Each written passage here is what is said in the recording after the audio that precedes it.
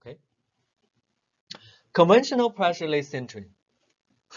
Here, I first list the so-called your heat source, heating element. What are the stuff you are going to use to heat it up, to provide the heat? And uh, nowadays, most of the time we are using electricity as our so-called power source. And we pass electricity to different types of so-called heating elements. Make sense? You apply heat, the heat comes from where? From ohmic heating of certain elements. And the elements, depending on their cost and material, we have different types.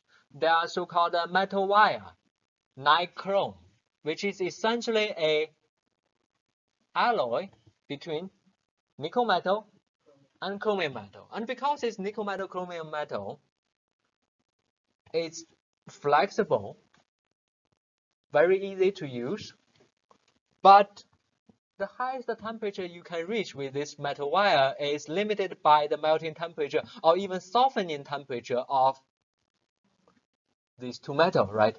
Which are not very high. If you know a little bit about metallurgy, nickel melts at around 15, 1400 degrees C.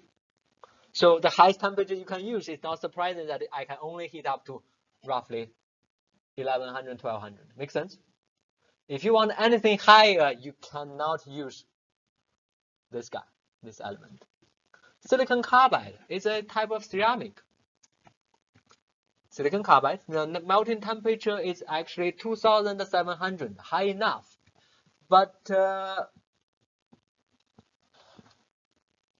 we when you have a silicon carbide element, it only work up to around 1500 degrees C maximum temperature. Not because it melts, but because silicon carbide it starts to go through in air, goes through oxidation. That's why, okay, in silicon carbide, I can heat it up, use it, but for typical element purpose, I'm exposing the elements in air, and then I'm limited to this temperature, roughly. Higher than that, the carbon become carbon dioxide, silicon becomes silicon dioxide. Make sense? Of course, you say, Dr. Cheng, can I encapsulate silicon carbide in a vacuum or some inert atmosphere and use it for higher temperature? I say, of course you can. Make sense? Of course you can. But most commonly, it's just used for oxidizing atmosphere. Molybdenum This we call molybdenum Molybdenum metal, but two silicon. This is a metal or ceramic? Let me ask you this. This is a ceramic because it contains one metal, moly, but silicon, we do not normally consider it as metal because pure silicon is not conductive. Pure silicon is not malleable, right?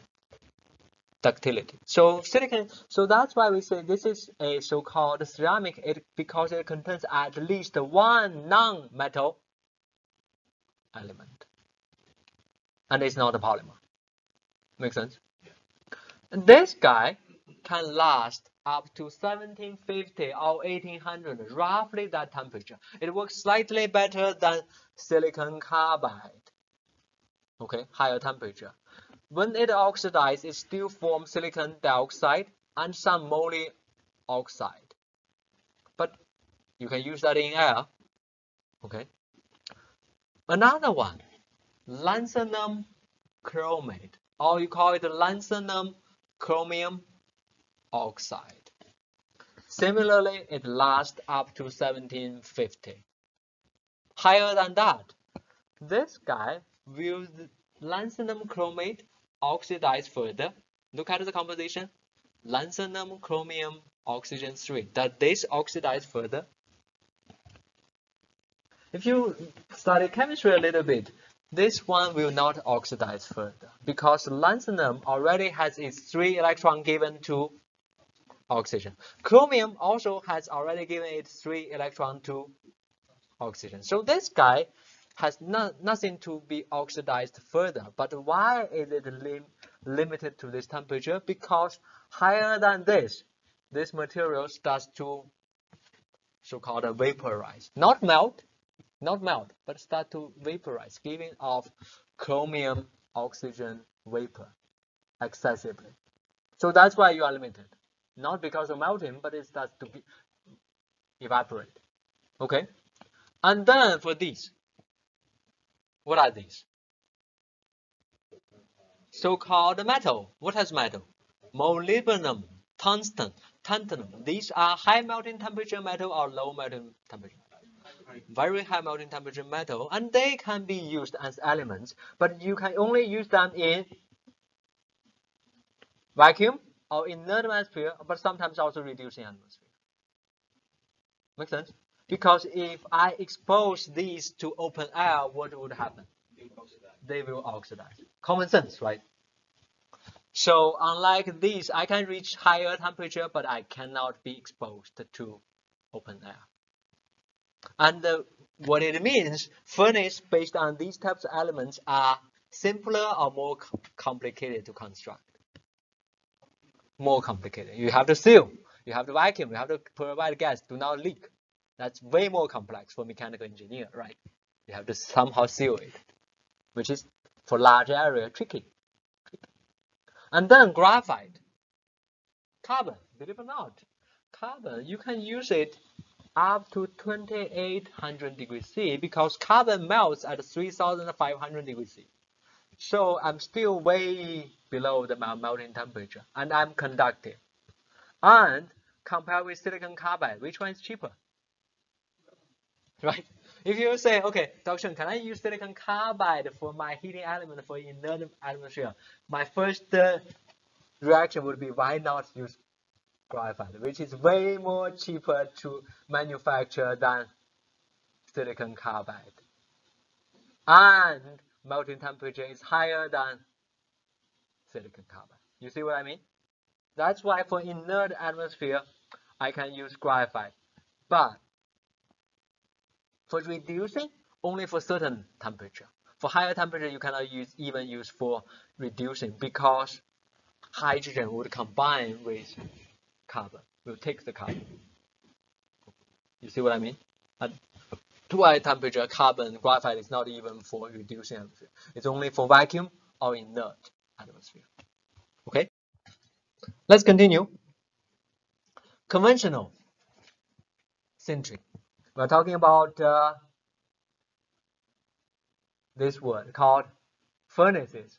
The apparatus, the system, the setup that gives you the heat. And the first one is typical so-called box furnace or people also call it a muffle furnace. Something that looks like this. Something like looks like this. We have it in our lab, different labs, very cheap. You can get something like this from low end $1,000 up to $10,000, something like that. relatively cheaper. And uh, something like this, is this atmosphere control or not atmosphere control? This one is not. You see, it's not. I don't see a sealing mechanism. So open air, cheap. Go up to temperature depending on what elements you use. If I'm using nickel, nichrome, nickel chromium uh, wire, I'm only leaving it up to roughly 1200 degrees C. If I'm using silicon carbide, I go to 1500 degrees C. If I'm using molybdenum I go to roughly 1700. Make sense? I am cheap. Okay. On the other hand, we can have so-called uh, tube furnace. Sometimes you can have, because the tube is much easier to seal, it can give you better atmosphere control. We have something like this, right? And the tube, you can pull vacuum in principle. You can put certain gas through it. This is horizontal or vertical. Horizontal, but you may find you can also configure it uh, vertical if necessary. Make sense? For mechanical engineer, this is not complicated. Just change it, okay? And you can do atmosphere control. Depending on what tube you use, if I'm using a stainless steel tube, go up to around 1100 degrees C. Higher than that, my stainless steel become too soft. Make sense? And if I'm using this stainless steel too, If I'm using so-called quartz tube, which is silicon dioxide, this highly transparent ceramic tube, kind of semi-glassy, I can go up to 1200. What's the advantage for this versus stainless steel? Well, it resists many chemicals, right? Stainless steel is pretty resistant, but the quartz is like for acid, for acid it's pretty resistant. For gas, also pretty resistant. The hydrogen would go into stainless steel, but not so much into quartz. Make sense? And also I can see, right?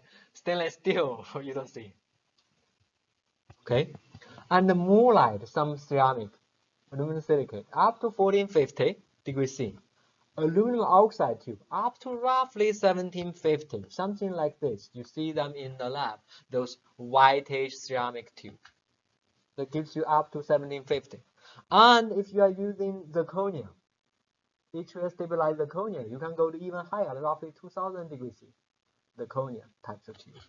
And then finally, if you want to go to even higher, you use graphite tube. Uh, that can give you up to 2600 degrees C with sealing capability, something like this. Make sense?